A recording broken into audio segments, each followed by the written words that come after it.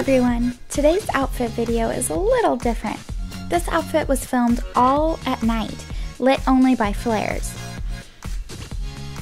For this apocalypse style shoot, I wore a black velvet tank top with lace trim, distressed skinny jeans with diamond fishnets showing through the knees, gray sneaker wedges, and my gray leather jacket.